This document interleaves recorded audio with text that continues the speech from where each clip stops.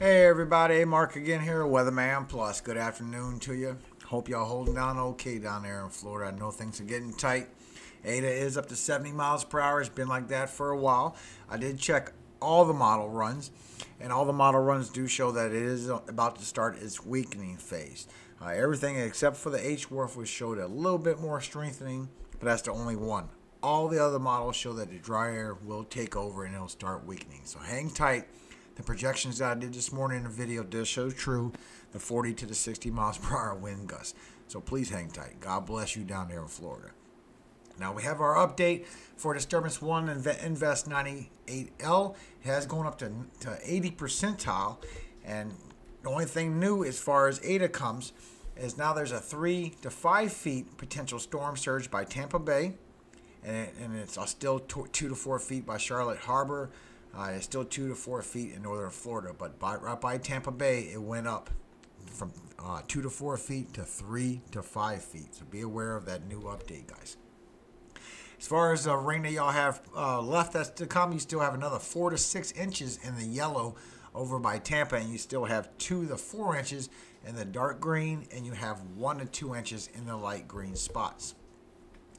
Now, getting over to Invest 90, 98L. If you remember the potential velocity that we have, we just got finished over Eta. This is the last bit it has left. Don't have much strength. Our next potential velocity anomaly will happen somewhere around the 15th all the way to the 20th. And it's a lot of energy in there.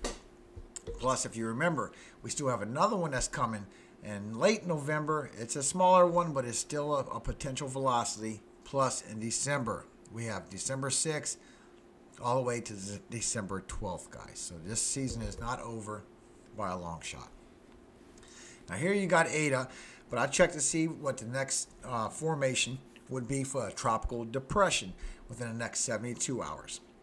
And this is the area that it's expected to form, and in four days, it's going to move right below uh, southern Jamaica. I will show you Jamaica why it gets steering that way and then in five days, it moves more to the west. It's still southern below Jamaica.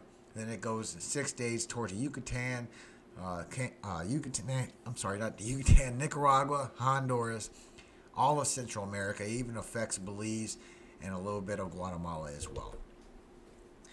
Now, this right here is your ICON model, and I want to show you the intensities that all these different models are showing. This one is still updating, only have up to 120 hours but it's already showing millibars of 982. That is a hurricane. If you go by the GFS parallel V16, it shows an even worse case scenario. It shows that it will be a 938. That is major, guys. Major damage. Now, if you look at the regular GFS, it does show that it gets down to a 966. So either way, we are definitely looking at a strong hurricane that's going to be going towards Central America and if it looks like it's going towards Nicaragua and Honduras, because if you look, as it passes by Jamaica and tr tries to make its way towards the Gulf, uh, a dominant high pressure moves in from the west. It covers the whole Gulf and makes it go south, and it can't go no further north. That's why it chose this instead of coming to the Gulf like it's been showing us. Now here's the one that I didn't like. This is the Korean model. This is why I really like alerting people early. This is literally two days. Two days. It's showing a system right outside Nicaragua, Honduras. And then two days later, it literally spins up to a hurricane within two days. That is not enough time for anybody. Now, if you go through the dry air, this is what I wanted to show you, Jamaica. This is the main reason why you're not going to be having uh, too much of a problem. You can see that you do have dry air moving in. We do have northerly winds moving in, flowing down south to the southwest. And as the storm moves through, this is our storm system right here. You're covered in dry air at the moment. And then it starts getting uh, easterly winds and it starts moving to the west away from you. And that's when you're going to get the rain. You're going to get the rain from Saturday to Monday. And that is it. After that, you are done. I don't know about the next system that has a potential, has a lot of dry air in it over Puerto Rico. We, we will worry about that later. But as you can see, there's so much dry air. It's not coming to the Gulf. It has to go to Central America. It don't have a choice. That's the only place it can go.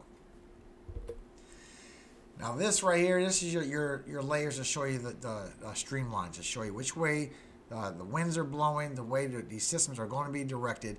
Now Jamaica, if you take a look, you will see that these streamlines are all pointing to the south. You have some very strong northerly northerly winds that's going to be steering this storm south, and it's going to steer it south long enough before it straightens up and tries to go west to where it's already below you and not over you. So this is where you're going to get your rain from. You're going to get your rain all the way from Saturday all the way to Monday.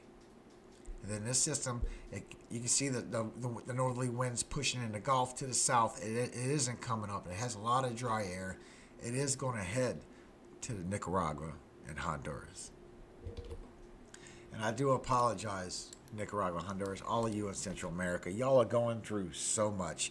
It is unreal. So God bless every single one of you over there. But I just wanted to do a quick update, let y'all know what was going on with Eta. I know y'all might be a little worried, thinking, oh, it is strengthening. It is about to start going down, guys. You're still going to have the 40 to the 60 miles per hour wind gusts. Still be aware that you still got those rains. You still got the, the storm surge. So please be aware of that. Most of all, Guatemala, Honduras, Nicaragua, Belize, all of you guys over there. God bless every single one of you. I've seen the videos on the internet. Y'all are going through more than anybody should be asked to. It is a lot. So God bless every single one of you. I do hope that y'all will be okay. I do hope that this thing does change direction because last thing y'all need is another one, as well as us. That's the last thing we need as well. So God bless everybody. I hope this thing just dissipates. Central America, I, I want to pray for you. Psalm 82. God standeth in the congregation of the mighty, he judgeth among the gods. How long will ye judge unjustly and accept the persons of the wicked? Selah. Defend the poor and fatherless. Do justice to the afflicted and needy. Deliver the poor and needy. Rid them out of the hand of the wicked. They know not, neither will they understand. They walk on in darkness all the foundations of the earth are out of course. I have said, Ye are gods, and all of you are children of the Most High. But ye shall die like men, and fall like one of the princes. Arise, O God, judge the earth, for thou shalt inherit all nations. Amen. God bless y'all. I hope y'all have a great night tonight. We will do another update tomorrow. I just wanted to let you know that this thing is not coming to the Gulf. Unfortunately, it looks like it's going to Central America. So God bless you, Central America. Hit that subscribe button. I do update every day. I want to make sure y'all stay informed down there. Hope y'all have a blessed night tonight. All glory does go to God. Amen.